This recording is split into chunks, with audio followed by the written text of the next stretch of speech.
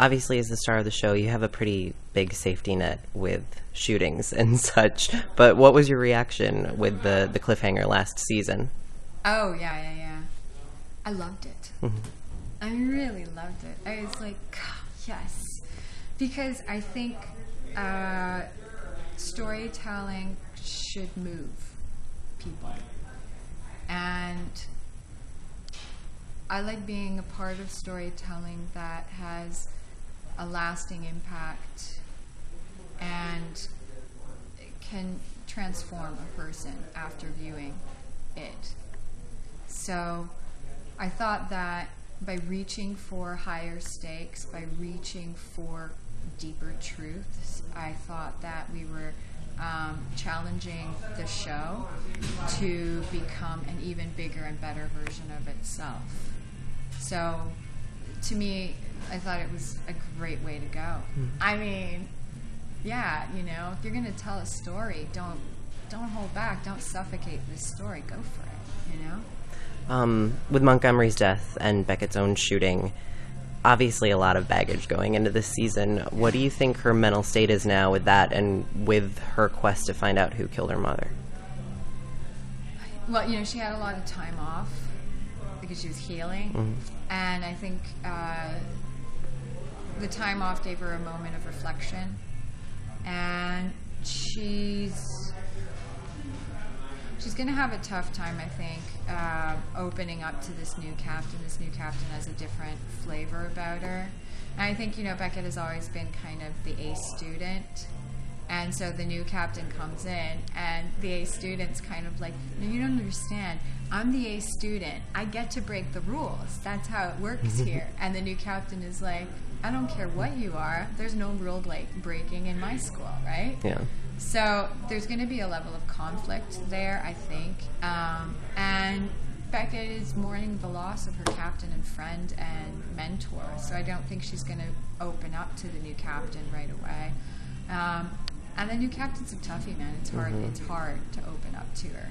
I think you know as the show progresses, you'll discover that um, the new captain has more to offer than she immediately seems to.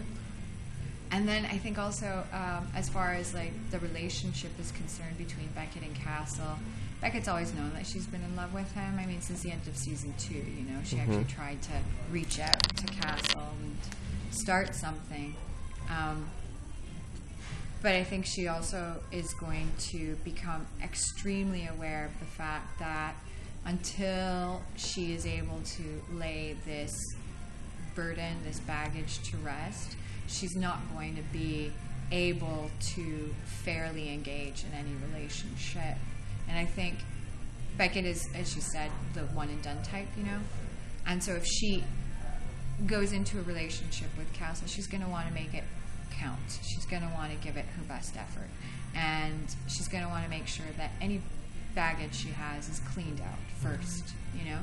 So that's her big secret, I think, this year is that before she dives in with him, she has to close that chapter and make sure that she's whole and available to a real relationship because that's something that's been holding her back from um, really diving in with anyone, you know?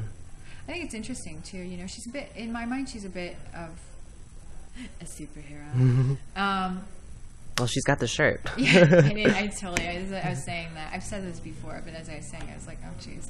Um, but I think that um,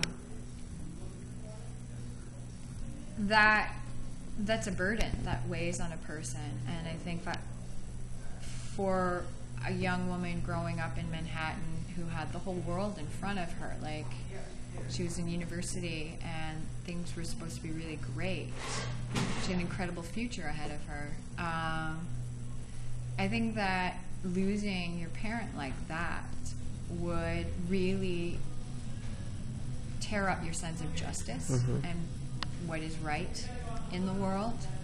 And I think that would be a strong motivation for making the world right again. You know. So I think that's probably one of the things that drive her drives her. I'm, I'm guessing. Yeah. My mind. Before I let you go, person who plays it. yeah, you would know. Um, I feel like there's a Halloween episode happening right now. They're playing the Ghostbusters theme, and you have a Wonder Woman shirt on. Right. Uh, what can you tell us about this? Yeah, um, there's a haunted house that might or might not be um, having uh, demon issues. Um, so there have been a series of murders in this horrible haunted house, and uh, Castle and Beckett go on uh, on a journey in this uh, in this space to solve a big bad murder.